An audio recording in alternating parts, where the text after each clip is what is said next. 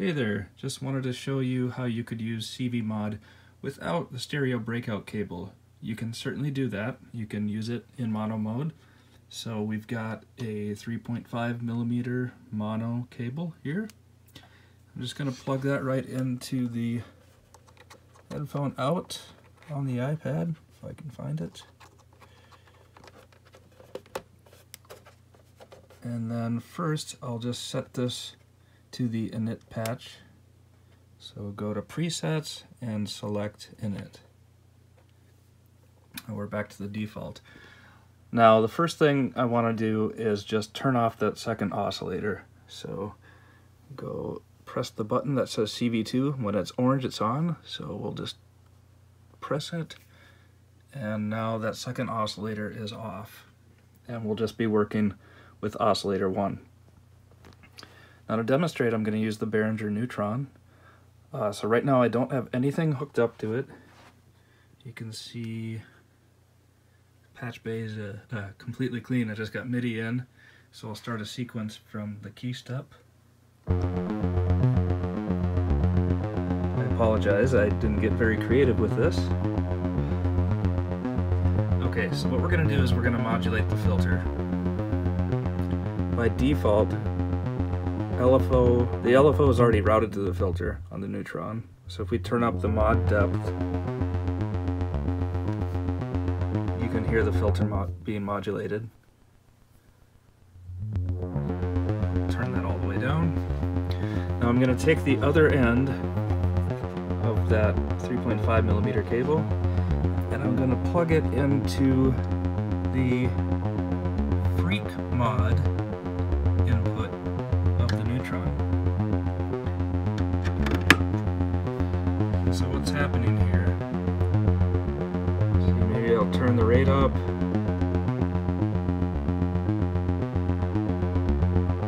Doesn't seem like anything's going on, does it?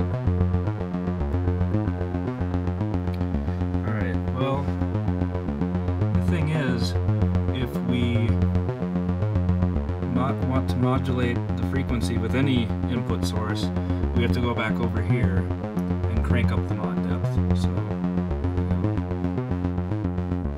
now you can hear it. Let's turn the uh, cutoff down, make it more obvious.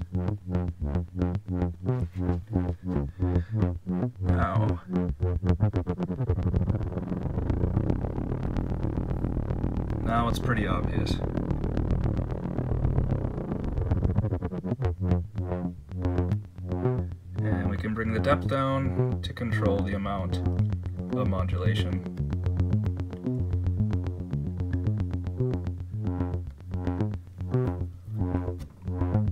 We can also use drive to boost the signal. When you do that, it distorts the waveform a little bit, so it's it actually turns the sine wave into more of a square.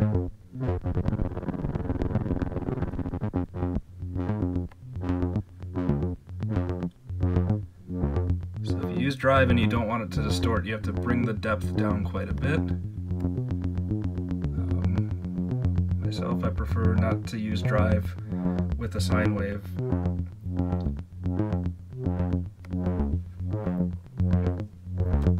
Now we can actually boost this a little bit more if we use the attenuator. Um, attenuator is just a way to kind of control the, the mod depth of an input, I guess is one way to put it. So what we're going to do now is plug. Now you can hear that the uh, LFO has taken back over for the modulation of the filter. Anyway, so what I'll do now is plug this into the attenuator 1 input. Turn that all the way down first.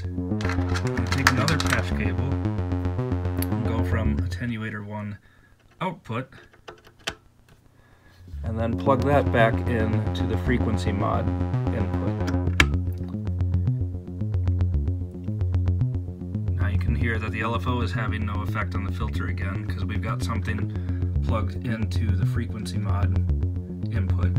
So now, to affect the mod depth, I'll turn up attenuator 1.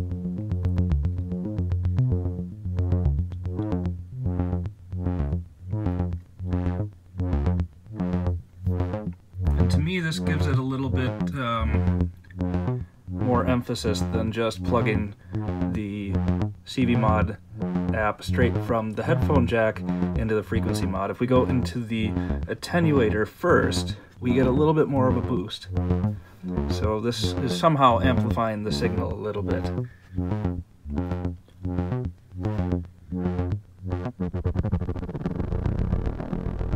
Uh, to me it sounds like it, uh, does a little bit more, has more of an effect when you use the attenuator. And we can just kind of...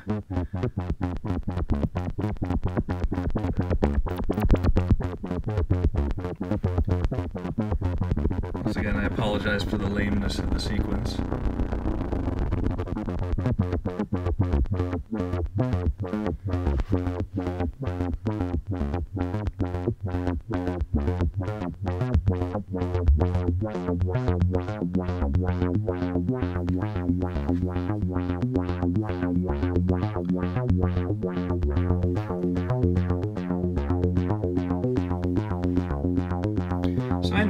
Most powerful wave, so um, you change it to something else, that might be a good time to try, try out the drive.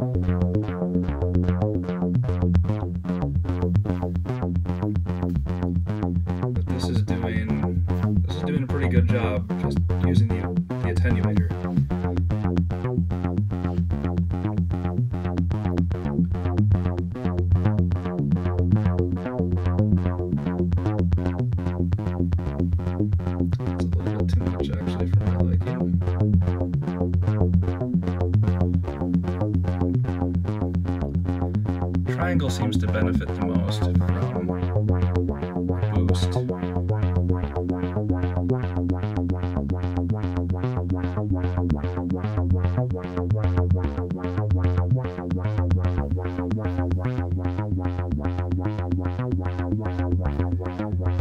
What else can we try? Square wave?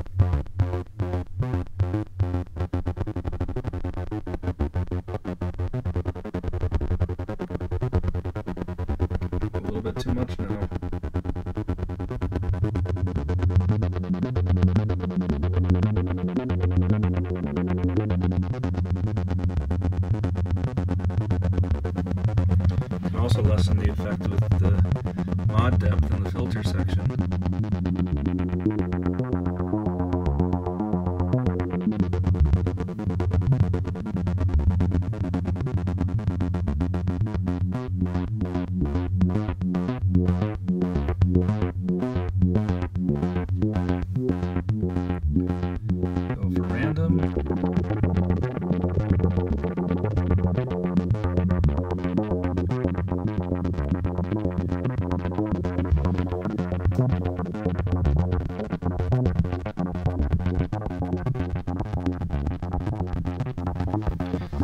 forgetting that whenever I use random, it's a good idea to change the um, upper limit of the frequency range to something lower. Otherwise, when it's going too fast, it just kind of sounds like noise.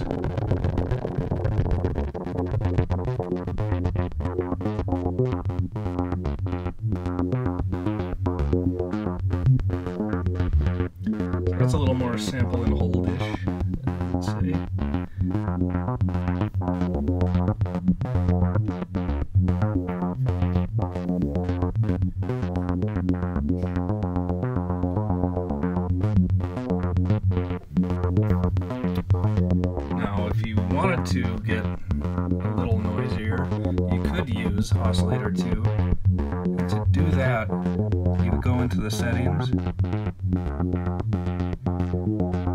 then you'll want to flip Oscillator 2 pan over to the left, so they're coming out the same channel. Now we can go ahead and turn it on.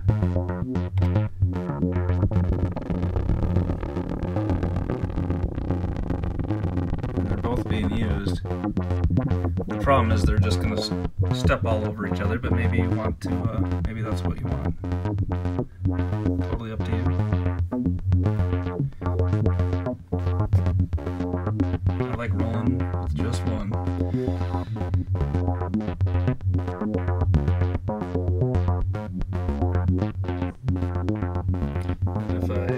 Disconnect this from frequency mod, that LFO is going to take over again.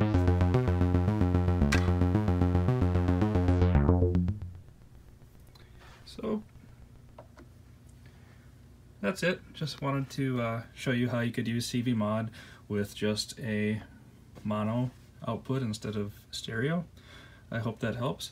Once again, if you have any questions or comments, please leave them below and I will do my best to answer them. Thank you so much and uh, jam on!